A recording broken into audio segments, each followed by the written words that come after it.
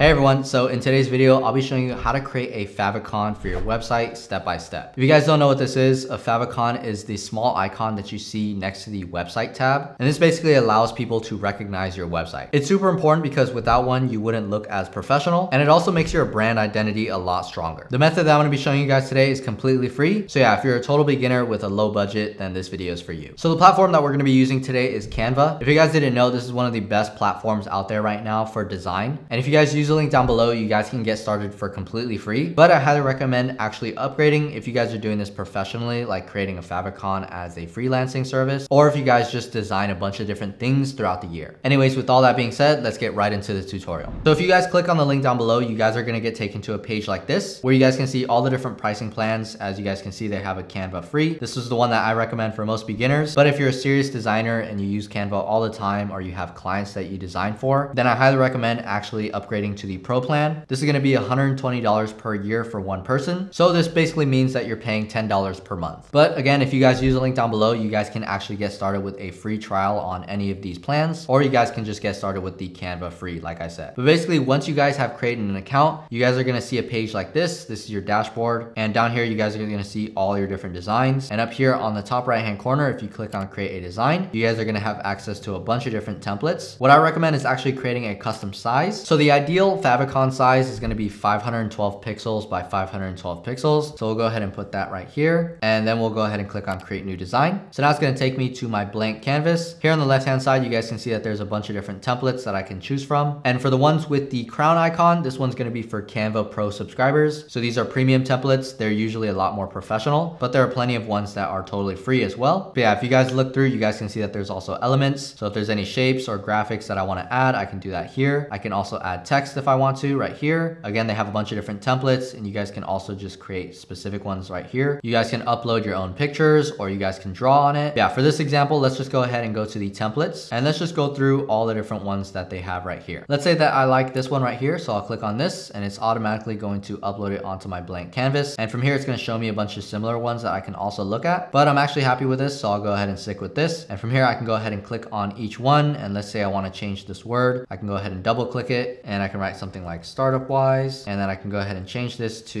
EST. And for this, I can change this to any element I want. So I can change the colors up here if I wanted to keep this picture, or I can go ahead and go to elements right here and I can search for an arrow. And let's say that we wanna go to the graphics. So we can go ahead and choose something like this. And let me just drag this to the side while I get rid of this right here. And I can take this and put it right here in the middle. I can also rotate it using this button right here. So if I wanna rotate it diagonally like that, I can do that. From here, I can also change the color. So let's say I wanna change it it to a green. I can do so like that. And yeah, it's super customizable, so you guys can also choose the different hex codes. But yeah, for this, let's go ahead and stick to black. Yeah, if I want, I could change the color of the circle. I could change the color of the text. I can also take these elements on the side out, or I can add more elements if I wanted to. But yeah, from there, all I have to do is click on share button right here, click on download. And then from here, I can download it either as a JPEG, a PNG, or a PDF. I recommend either a JPEG or a PDF. So for here, I'll go ahead and choose JPEG and I'll click on download. And from there, it's gonna gonna download onto my laptop. So yeah, super simple. With Canva, you guys can create a favicon in a matter of minutes. But yeah, that's pretty much it for how to create a favicon for your website step by step. I hope you guys got some value out of this video. And if you did, please make sure to leave a like and subscribe for more videos just like this. Here on My First Website, we create a lot of tutorials and how-to guides on creating your first website, as well as anything website related. And if you guys are a total beginner and you wanna get your first website set up, we actually have a service where we can do that for you completely for free. So if you're interested in that offer, go ahead and check out the link down below below. Anyways, that's all for this video. Thank you guys so much for watching and I'll see you guys next time.